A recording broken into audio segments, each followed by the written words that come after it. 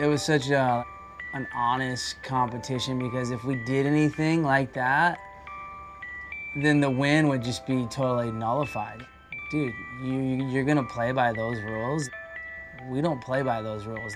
I'm gonna beat you fair and square because I'm better than you, and I don't need any advantages. You actually need advantages. Throughout my life, I was always proud of him, but he treated me better than I treated him.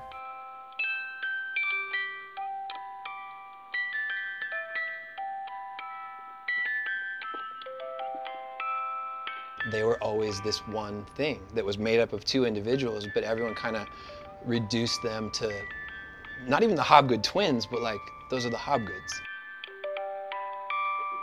Favorite moment together? Right now. We're about to go get some waves.